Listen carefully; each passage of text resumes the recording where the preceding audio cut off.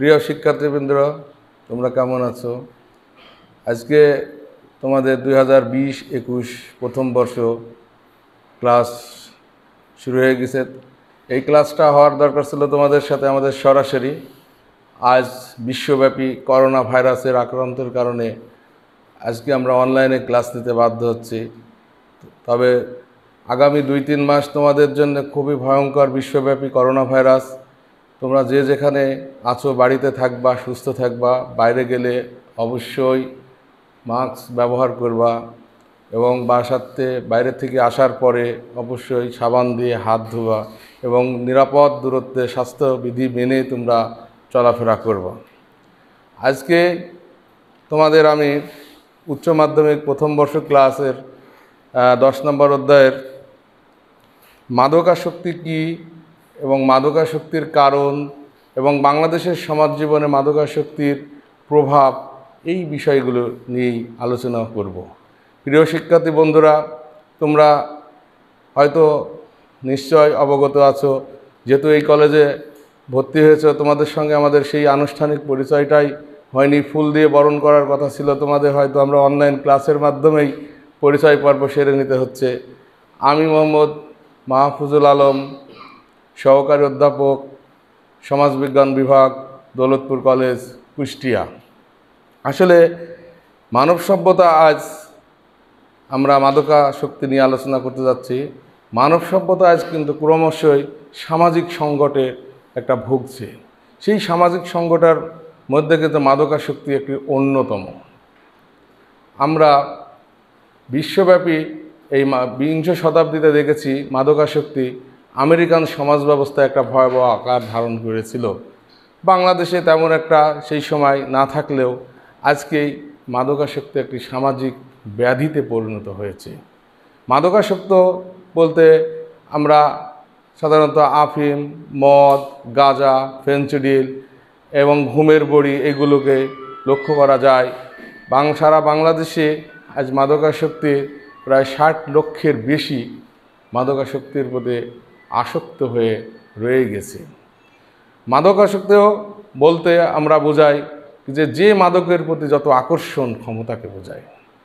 আজকে মাদকাসক্তি বিশ্বব্যাপী মানুষ এই মাদকাসক্তির কারণে তাদের সামাজিক অস্তিত্ব থেকে সব কিছু বিপন্ন হয়ে চলছে। মানুষ পারিবারিক অশান্তি থেকে শুরু করে সব কিছু মাদকাসক্তির এই কালো সবল থেকে আমরা রেহাই পাচ্ছি না।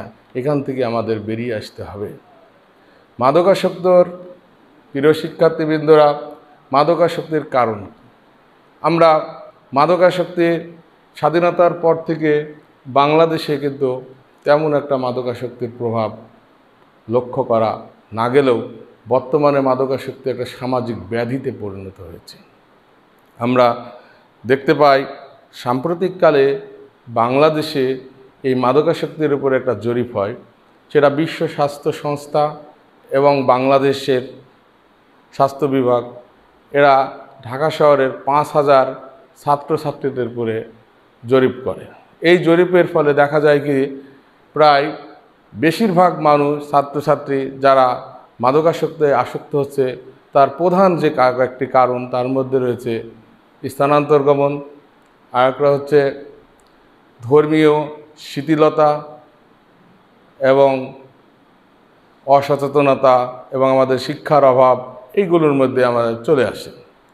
তো মাদকাসক্তি, প্রিয় শিক্ষার্থীবৃন্দরা, তোমরা মাদকাসক্তি বাংলাদেশের যে বৃদ্ধির একটি অন্যতম কারণ হচ্ছে ভৌগোলিক অবস্থানগত কারণ।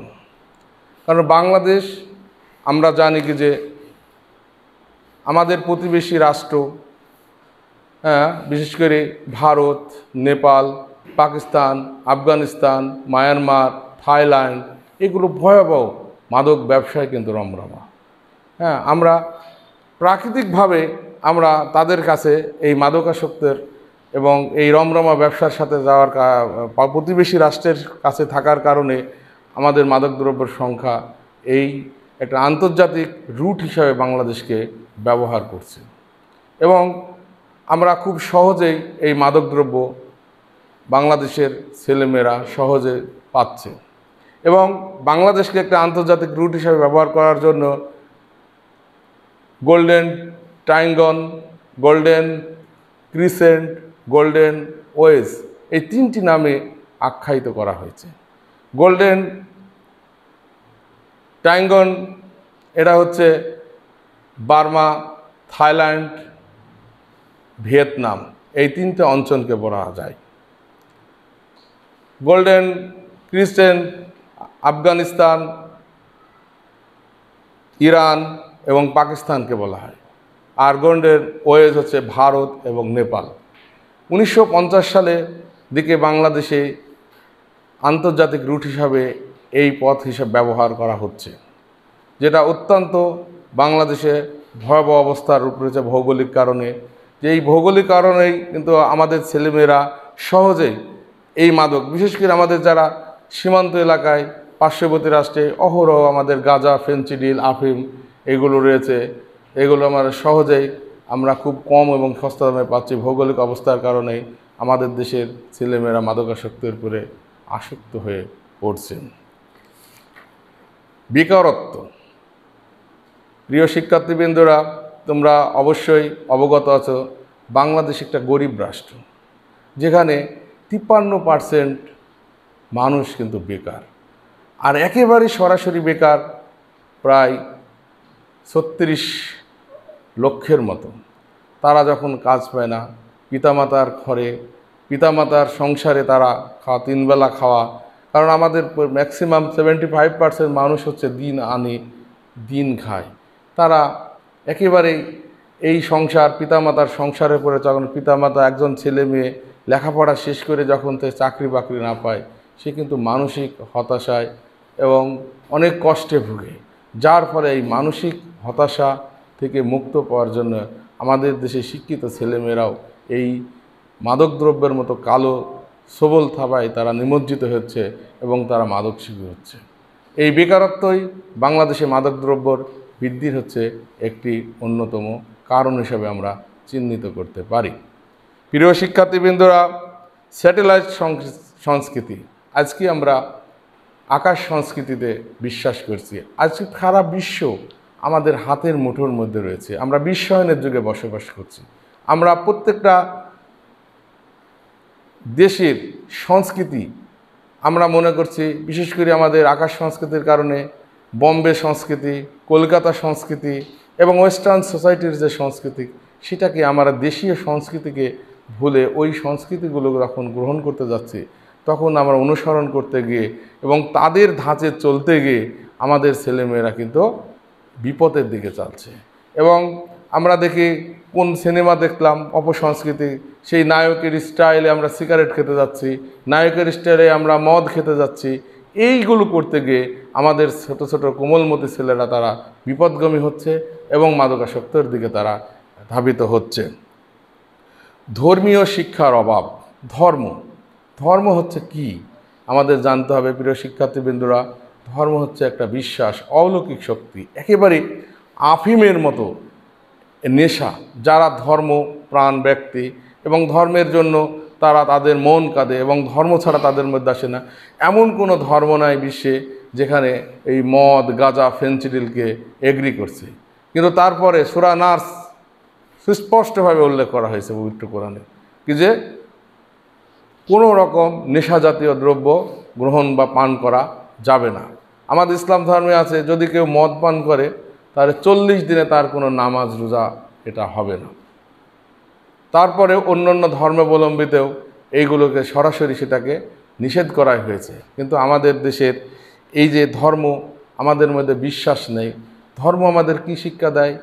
ধর্ম আমাদের নৈতিক শিক্ষা দেয়, সৎ পথে চলার শিক্ষা দেয় সৎভাবে বাঁচার সাথে দেয়, আমাদের সত্য পথে চলার ইয়ে করে। কিন্তু আজকে আমাদের সমাজ ব্যবস্থায় এই ধর্মীয় নৈতিকতা, আমরা ছোটদের, বড়দের সম্মান না করাতে, আমাদের মধ্যে ধর্মীয় নীতিবোধ, ধর্মীয় আদর্শ না থাকার কারণে আমরা বিচ্যুত হয়ে পড়ছি। এর ফলে কি হচ্ছে? আমরা বিভিন্ন বিপদে যাচ্ছি এবং মাদক দ্রব্যের মতন কালো থাবায় দিকে আমরা ধাবিত হচ্ছি। এর ফলে আমাদের সমাজ ব্যবস্থা কিন্তু নষ্ট হয়ে যাচ্ছে। প্রিয় শিক্ষার্থীবৃন্দরা, তোমরা নিশ্চয় অবগত আছে যে মাদকদ্রব্যর ম্যাক্সিমাম কিন্তু একা গ্রহণ করে না। এটা একটা সমবয়সী দল, সঙ্গী লাগে, একটা গোষ্ঠী লাগে। কি যে দেখবা, তোমরা যখন এই যে এই ইন্টারমিডিয়েটে ভর্তি হয়েছো কলেজে আসছো, তোমরা হয়তো কৌতূহল বশত একটা সিগারেট খেলে। কৌতূহল বশত একদিন একটা গাঁজার টানলে অথবা ফেন্সিডিল খেলে। একদিন এই সঙ্গবদ্ধভাবে খেতে খেতে দেখা যাচ্ছে একটা নেশায় চলে আসবে। যখন তোমরা আর এই পথ থেকে সরে আসার কোনো রকম পথ থাকবে না। আমাদের সমাজ ব্যবস্থায় মাদকদ্রব্য কিন্তু তুমি এমনি এমনি তুমি কখনো খাবা না। যার ফলে যখন এই সমবয়সী দল বা সঙ্গী দলের সাথে তুমি খেতে থাকবা, তখন একসময় তোমার কিন্তু একটা নির্দিষ্ট জায়গায়, নির্দিষ্ট সময় তোমার একটা নেশা জাগবে। এবং তোমার অজান্তেই তুমি কি করবা? সেইগুলো কৌতূহল বসতে খেতে খেতে খেতে তুমি একটা চেন স্মোকার হয়ে যাবা। যখন তুমি ওটা না খাবা, তখন তোমার মধ্যে এটা সামা একটা অস্থিরতা বিরাজ করবে, হতাশা বিরাজ করবে। আর তুমি যেন একটা কি যেন খাচ্ছ না, সেই না খাওয়ার যন্ত্রণা তোমার মধ্যে বোধ করবে। এটাই হচ্ছে আমরা বলতে পারি সমবয়সী দলের প্রভাবে আমাদের দেশে মাদকাসক্তির বৃদ্ধির একটি অন্যতম কারণ হিসেবে চিহ্নিত করা যায়। পরিবারের ভূমিকার অভাব বাংলাদেশে মাদকাসক্তির বৃদ্ধির একটি অন্যতম কারণ হিসাবে আমরা চিহ্নিত করতে পারি। প্রিয় শিক্ষার্থীবৃন্দ, পরিবার।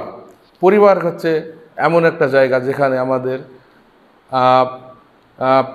মানে পিতা, মাতা, ভাই, বোন আত্মীয় স্বজন পরিবারকে একটা প্রাথমিক শিক্ষাগার হিসাবে চিহ্নিত করতে পারি। তে পরিবারের ভূমিকা, পরিবার হচ্ছে মানুষের প্রধান নিরাপত্তার একটা আশ্রয়স্থান। পরিবারের একটা প্রাথমিক শিক্ষাগার এবং প্রাথমিক আমরা পরিবারের মাধ্যমে আমরা সকল প্রকার আদান প্রদান রীতি নীতি চাল চলন দিয়ে থাকি। পরিবারের মাধ্যমে আমরা যত কিছু শিক্ষা এ গ্রহণ করি, আর অন্য কোনো মাধ্যম নাই। যদি পরি, ছোটোকাল থেকে আমরা প্রত্যেকটা মানুষ পরিবারের মাধ্যমে এই মানুষের চলাফেরা আদব কায়দা চাল চলন, রীতিনীতি এটা শিখতে পারি। তাহলে কিন্তু আমরা সঠিকভাবে বড় হতে পারব। আর যে পরিবার যদি আমরা নিরাপত্তার আশ্রয়স্থল না থাকে, পরিবার থেকে যদি আমরা সেই শিক্ষা গ্রহণ করতে না পারি, তাহলে কি হবে? সেই পরিবারটা ছেলেমেয়েরা বিপদে যাবে। তারপর বিভিন্ন রকম খারাপ নেশার দিকে চলে যেতে পারে। এবং যে পরিবারে দেখবা যে আমাদের সমাজ ব্যবস্থায় অনেক পরিবার আছে, যারা পিতামাতার সাথে সম্পর্ক নাই। তার পিতামাতার কথা মানে না। এবং পিতামাতার আদেশ নির্দেশ মানে না, সে বিপদের দিকে চলে যায়। আমাদের দেশে যেহেতু প্রায় সেভেন্টি ফাইভ পার্সেন্ট মানুষ হচ্ছে হ্যান্ড টু মাউথ দিন আনে, দিন খায়। এবং তারা অনেক ছেলেমেয়েরা আছে যারা পরিবারের দিকে বাইরে চলে যায়, পরিবারের দিক নির্দেশনা মানে না হ্যাঁ তারা খারাপ পথের দিকেই ধাবিত হয়ে চলে যায়। রাজনৈতিক অস্থিতিশীলতা বাংলাদেশের মাদকাসক্তির একটি, বৃদ্ধির একটি অন্যতম কারণ হিসেবে চিহ্নিত করতে পারি। বাংলাদেশের রাজনৈতিক অবস্থা আমরা স্বাধীনতার পর থেকেই দেখছি, এটা একটা অস্থিতিশীল অবস্থা সবসময় বিরাজ করে। কোথায় হরতাল কখনো অবরোধ, কখনো গাড়ি ভাঙচুর, কখনো আমাদের মধ্যে রাজনীতির কথা শুনলে আমাদের কিছু উৎসুক মানুষ থাকে এবং তারা এই নিয়ে তর্ক বিতর্ক করে। কারণ আমাদের কোনো ক্ষমতার কোনো স্থায়িত্বতা নেই। আমাদের উন্নয়নের কোনো ধারাবাহিকতা থাকে না। এর ফলে কি হয়? এই রাজনৈতিক অস্থিতিশীলের কারণে শিক্ষাঙ্গনের বছরের পর বছর কিন্তু সেশন জট। তাদের চাকরির বয়সটা শেষ হয়ে যায়। শেষ হয়ে যাওয়ার পরে কি হয়? এবং তারা হতাশায় ভোগে, তারা সরকারি চাকরির রেজ থাকে না। এবং একই ক্লাসে একাধিক বছর যখন থাকা লাগে, তখন তারা কিন্তু এটা হতাশায় নিমজ্জিত হয়। তখন তারা এই মাদক, তারা মনে করে যে এই মানসিক হতাশা থেকে মুক্ত পাওয়ার জন্য তারা মাদক দ্রব্যের মতন এই মরণ নেশা তারা গ্রহণ করে।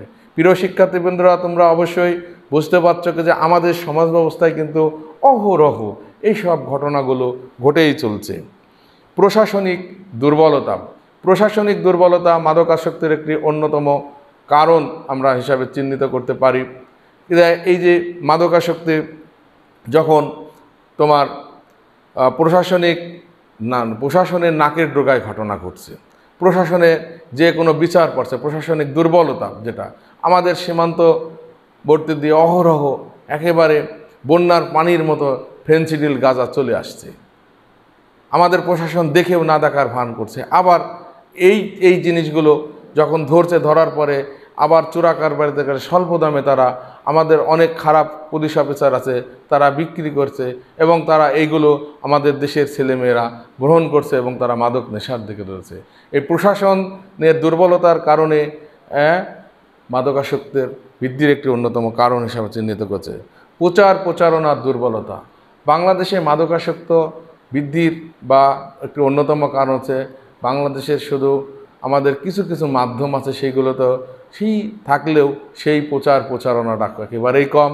শহর অঞ্চলে বেশিরভাগ থাকলে আমাদের গ্রামগঞ্জে, বিশেষ করে সীমান্ত এলাকায় এখানে অশিক্ষিত লোক বেশি থাকে এবং তাদের মধ্যে যদি আমরা ঘরে ঘরে এই মাদককে না বলো, মাদকের বিরুদ্ধে যদি আমরা সভা, সমাবেশ গত বছরে একটা, দুইটা করেই আমাদের শেষ করা যায়, এখানে বিভিন্ন সেমিনার, সিম্পোজিয়াম, আমাদের রাজনৈতিকভাবে, সমাজে যারা বিদ্যমান ব্যক্তি রাজনৈতিক ব্যক্তি প্রশাসনিক ব্যক্তি এবং ইউনিয়ন চেয়ারম্যান মেম্বারদের মাধ্যমে যদি একটা গণ সচেতনতা সৃষ্টি করা যায়, তাহলে অনেকটা এই মাদকদ্রব্যর হাত থেকে আমরা মুক্তি পেতে পারব। এই প্রচার প্রচারণাটা আমাদের বৃদ্ধি করতে হবে এবং সাধারণ মানুষের দোরগড়ায় মাদককে মাদকের কুফল সম্পর্কে তাদেরকে অবগত করতে হবে, তাহলে অবশ্যই তারা মাদকদ্রব্য থেকে মুক্তি পেতে পারে। প্রিয় শিক্ষার্থীবৃন্দ, স্নায়ু ও মস্তিষ্কের চাপ লাগুক। আমরা জানি কি যে বাংলাদেশের মানুষ এখন শহর নগরায়নের ভিতরে, নতুন নতুন শহর নগরায়নের ভিতরে তারা অনেক ব্যস্ত থাকে।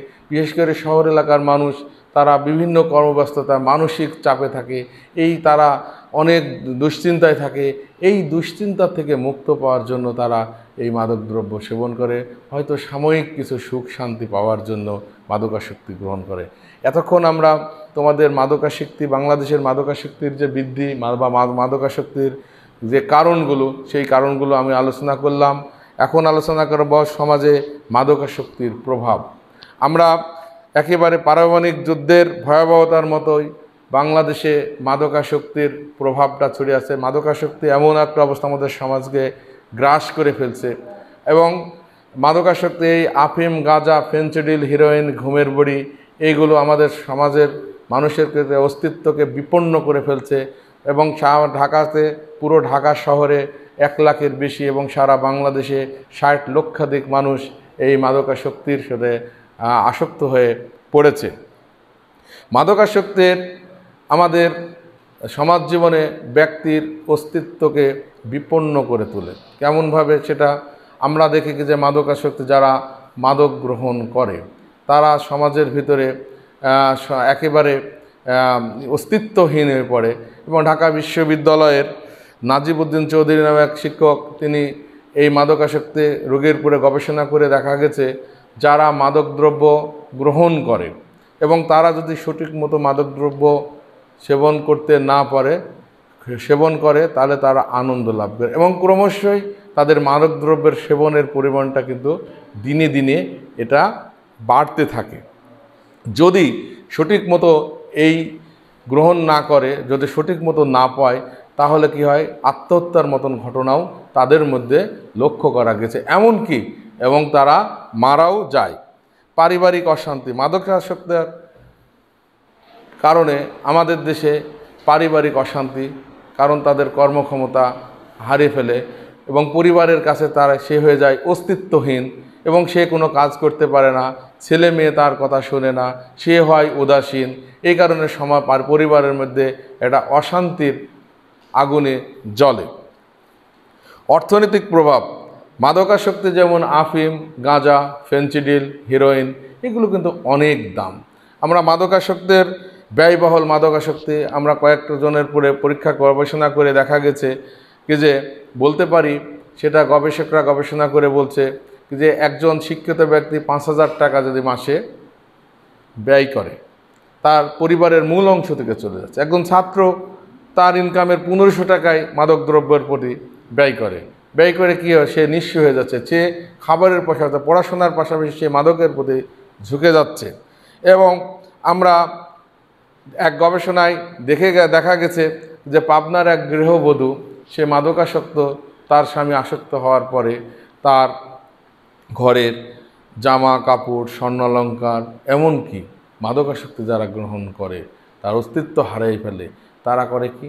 তাদের স্ত্রীকেও তারা বিক্রি করতে বাধ্য হয় এবং এরকম জঘন্যতম কাজ করতেও তারা পিছু পায়, হয় না।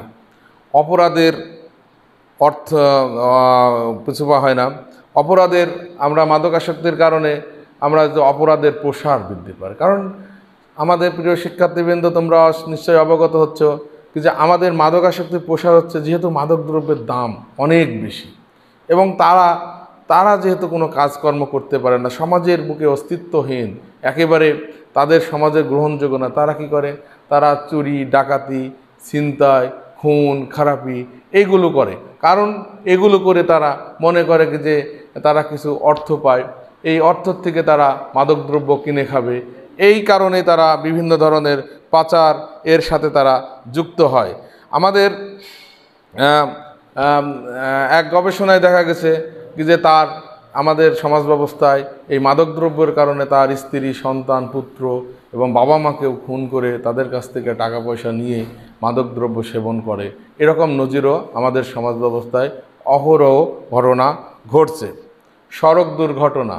বাংলাদেশে মাদকাসক্তির প্রভাব যেছে সড়ক দুর্ঘট- দুর্ঘটনা। আমাদের দেশে যারা দূরপাল্লায় গাড়ি চালা করে, বিশেষ করে ড্রাইভাররা, অধিকাংশ ড্রাইভাররা, মালিক সমিতির মাধ্যমে আমরা কিছুটা হলেও জেনেছি যে অধিকাংশ ড্রাইভাররা তারা নেশা করে তারা দূরপাল্লায় গাড়ি ঘোড়া চালায়। এই চালানোর ফলে কি করে? তারা ম্যাক্সিমাম সড়ক দুর্ঘটনা, বিশেষ করে আমাদের শীতকালে। এই তারা ঘুমিয়ে পড়ে। এবং তারা যখন দূরপল্লায় করে, তারা নিশ তারা মনে করে যে ঘুম হবে না, মাদকদ্রব্য বেশি, বেশিক্ষণ গাড়ি চালানো যাবে, তাদের শরীরে এনার্জি পাবে, শক্তি পাবে। এই কারণে তারা মাদক ড্রপ গ্রহণ করে এবং তারা সড়ক দুর্ঘটনায় বেশি হয়।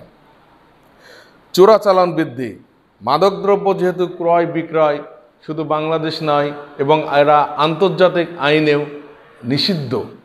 হ্যাঁ এই কারণে এই চোরাচালান বৃদ্ধি হয়েছে হিরোইন ফেন্সিডিল ইত্যাদি। এর ফলে কী আছে? প্রায় দুইশো কোটি টাকার প্রতিদিন এর লেনদেন হয়। এরা, এটা সম্পূর্ণ কিন্তু তোমরা বলতে পারো কি যে এটা আমাদের বাংলাদেশে মুদ্রাস্ফীতির ব্যাঘাত ঘটায়। এইডস রোগের সংক্রমণ। এই মাদকাসক্তি গ্রহণ করলে যেহেতু একই সিরিঞ্জে তারা এই অসচেতনার কারণে একই সিরিঞ্জ ব্যবহার করে এবং হ্যাপাটাইটিস বি এই নিউমোনিয়া, এই ধরনের রোগগুলো কিন্তু ছড়ায়।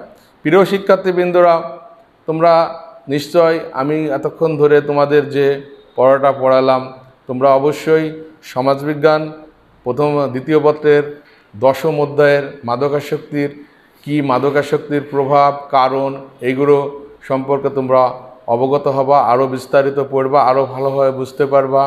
আর সর্বশেষ একটা কথা, তোমরা যেখানেই থাকো, নিরাপদ দূরত্বে থাকো, করোনা ভাইরাস যেহেতু একটা মহামারী, সেহেতু তোমরা বাইরে গেলে অবশ্যই মাস্ক ব্যবহার করবা, হাত ধোবা হ্যাঁ আর সঠিকভাবে চলাফেরা করো, সামাজিক দূরত্ব বজায় রাখবা। ধন্যবাদ।